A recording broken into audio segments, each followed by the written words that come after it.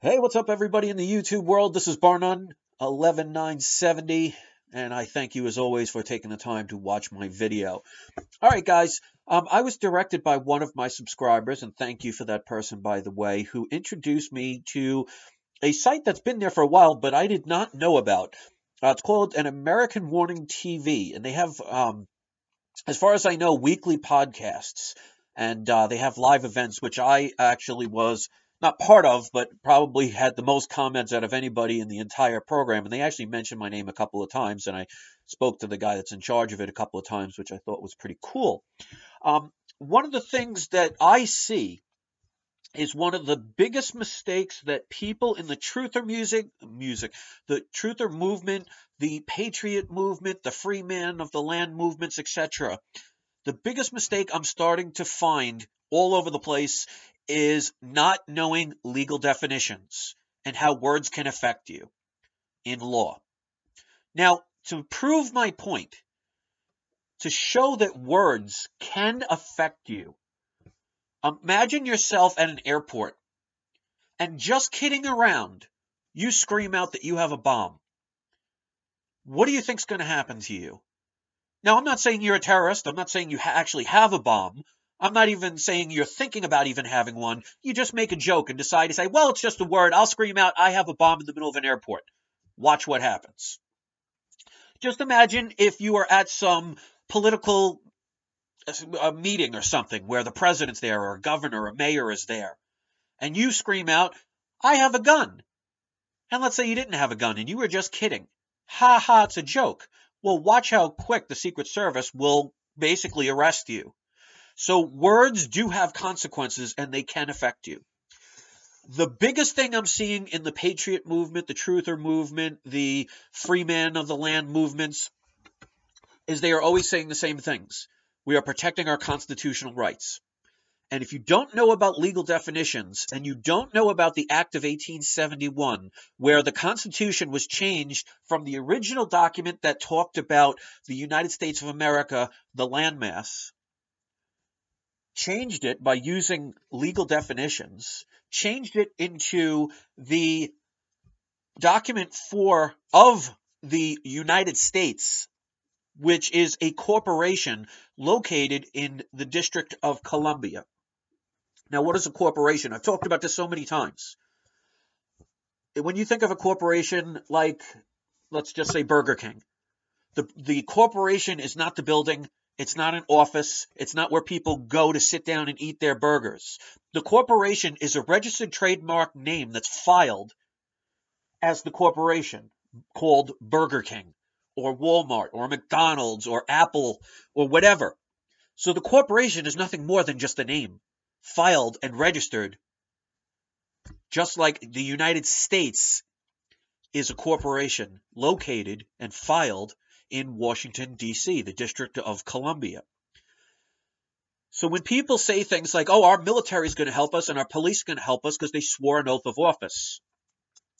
Well, they swore an oath of office to not the original Constitution of the United States of America, but to the United States, which is a corporation. So if you don't understand legal terms, you can get yourself in a lot of trouble. Like, for example, a person that tries to be a free man and they go, let's say they get pulled over and they talk to a police officer and say things like, well, I am a sovereign citizen. If you don't know the legal definitions of what you're saying, it, you might as well just say, I'm a legal slave. Because that is what they call an oxymoron. You can't be both. You can't be a sovereign citizen. Because under the legal term of citizen, the legal term of citizen means that you are subject to the jurisdiction of the United States, which is a corporation. Which means when you say you're a citizen, you're saying that you are part of their employment run by a president. You can't be free and be part of their system at the same time. And again, words are going to hurt you. You know that saying, sticks and stones may break my bones, but words will never hurt you? Well, say the wrong words in court and watch how quick they hurt you. So words will have effect. You don't want to be a sovereign citizen. You want to be a sovereign free man or sovereign people. You don't want to be a person. These are things that in this movement, if people do not understand that words have different meanings when it comes to law, that is why governments get away with what they get away with. And that's why people get in trouble because they don't realize what they are saying. So if you don't look up the Act of 1871 and you don't realize that there is a revised Constitution with a revised 13th Amendment, which talks about slavery, which is involuntary servitude. Again, listen to the definition. They could have worded slavery as anything. They purposely used the words involuntary servitude, which means if you volunteer, well, then you're a legal slave, aren't you? And if you volunteer with your consent, because the Constitution only exists because it's through the consent of the governed, we being the governed. And if we don't argue it and we don't dispute it, we are consenting to it, which means we are volunteering our servitude to serve under the jurisdiction of not the country called North America, not the country called the United States of America, but the corporation known as the United States. And again, it's all words. On one side, you see the United States of America. On this side, you see the word United States. You think they're the same. Well, assumption in law is not a good thing. I say this stuff because I have such passion in this now that I understand, that I read legal definitions. And I made a video earlier today that not many people have seen, but I highly recommend you watch it because I give a prime example where I can even prove to you the definition of the word person. Now, I've said this in several videos, and I'm going to keep saying this until people comprehend this. The word person to you and me means, like, for example, oh, look at that person. You just think of it as an individual. That's what the regular term would mean. But person in legal terms is a fictional character, a corporation. If you look up DC Code 7-201 under definitions, look under Part 10. It will show under the DC Code, it defines the word person. Now again, there's a difference between regular words that we use on the street and legal definitions. They are not the same. So when people have the drowning in good intention motive, you're just drowning. Doesn't matter if your intentions are good. If you don't know what you're talking about, and this is what governments are counting on. They want all these people to say, yeah, let's march and yeah, let's protest. And oh, I know my constitutional rights. Well, no, you don't. Because you're basing it on the original document, which no longer applies. Because if you have ever registered to vote, if you've ever checked the box that says, are you a U.S. citizen? If you've ever paid taxes, if you have a driver's license, you are a citizen. And if you are a citizen, you are subject to the jurisdiction not of the original government that was founded by our forefathers that created the United States of America or the Union States of America. In 1871, when they changed it and rewrote the 13th Amendment and made the document into a document for a fictional corporation that they created in 1871 under the jurisdiction of Washington, D.C., ignorance of the law is no excuse. So I hope people will research this. Get yourself a law dictionary. Look up the legal definitions. Words do matter. Like I said in the beginning of this video, go to an airport and scream out, kidding around, that you have a bomb. Do you think the police and the TSA are just going to ignore it? No, they're going to climb on top of you, probably taser you, or at the very least arrest you. And you could sit there the whole time saying, oh, it's just words. I don't have a bomb. I was only kidding. Well, words create action. And if you don't know the right words, that's the difference between somebody that doesn't end up in jail to somebody who does end up in, jail. Somebody that walks home freely or somebody that gets shot and killed. And if you want to trust cops and police and law officers, peace officers, sheriffs, whatever, if you want to think they really know the law, there's a difference between legal and lawful. Cops are talking about codes and statutes. It's not under our Bill of Rights. It's not under our original Constitution. Those are just basically made up laws to extract as much money as possible. If you think police officers know the law and understand the law and are very well adversed in the law, well, let me ask you this. How come when somebody has to appear in court, how come nobody ever asks a police officer to represent them in a court case if they supposedly know law? Why would we have a need for lawyers if policemen actually knew law? They are enforcers. The military, and I'm not saying they're bad people. What I'm saying is they are not informed of the truth. So when, for example, a military person with the most precious of intentions, nothing but good to help save the world and unite the country and do good, when they swear their oath of office to protect the Constitution of the United States, because they don't research what it means, they are pledging allegiance to a foreign country located in a 20 square mile radius of District of Columbia. And every single U.S. citizen throughout the country, throughout the 50 states, which includes Alaska and Hawaii, if you are a registered voter and a U.S. citizen, you are under the jurisdiction of the corporation that's located in Washington, D.C.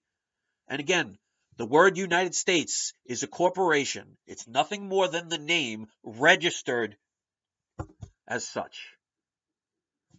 I want to drive this home because this is why our movements do not work. Because the people don't think words have any consequence or they don't mean as much as they should. Ah, it's just words. Say the wrong words in the wrong place and watch how quickly you will regret that decision.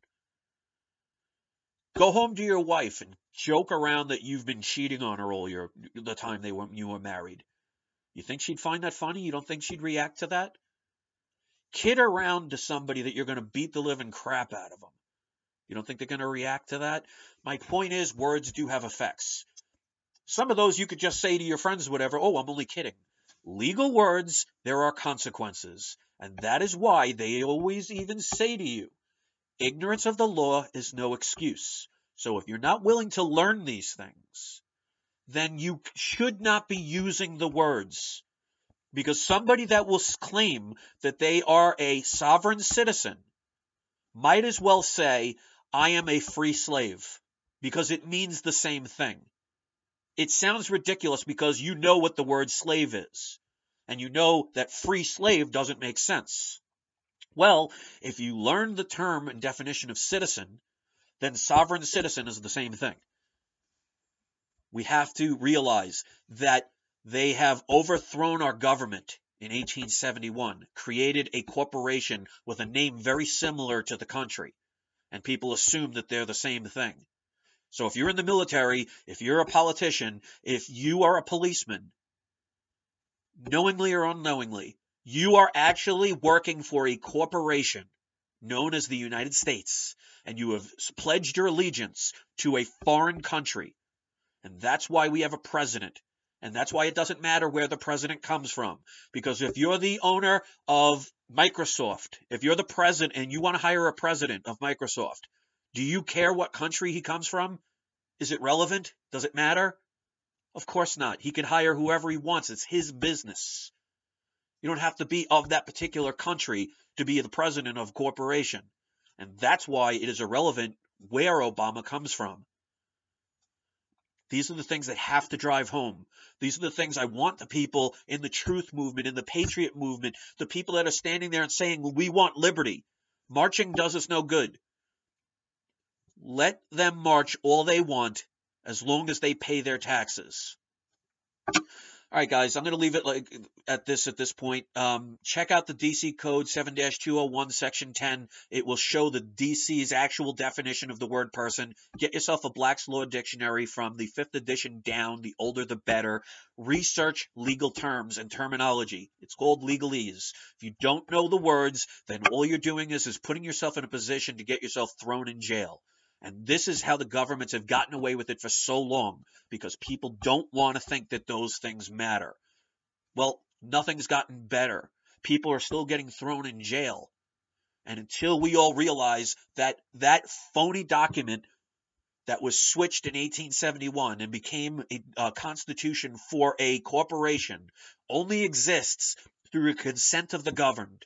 And that means our silence, because we don't know any better through our ignorance, we've consented basically by not arguing it. So the way to get out of it, because everybody's saying, oh, how do we get out of the system? Well, if we can get the masses to realize that the majority of the people are what is creating the consent of the governed, if we decide we no longer want to consent, well, they don't have any control over us, over us anymore, and it makes the, that phony constitution for the corporation no longer valid. And you don't even have to pull one trigger. Everybody wants a solution, but they don't want to hear the answer. Does it always have to be so complicated? The shortest distance between two points is a straight line. In other words, the easiest route is usually the best. So if people want to make it complicated, is there any wonder why nothing's getting done? You want to fix this system, we all have to do it. All for one and one for all. United we stand, divided we fall. The consent of the governed means that it's the consent of the governed, which means in a democracy, even though we were initially a republic, the majority tells the minority what to do. And if we don't say anything, in law, it's the same as agreeing. We don't want it anymore. We no longer consent. We no longer agree to be subject to the jurisdiction of a corporation known as the United States. Because what does a king have? King has subjects. So when you're subject to the jurisdiction, that basically means you are a slave to the system, and you are a legal slave based on your voluntary servitude through your ignorance. Guess what? You are now no longer ignorant. So what are you going to do about it? It's that simple. We need to wake up the masses. We need to realize and understand that these definitions do hold power in law, and that's how they have enslaved us.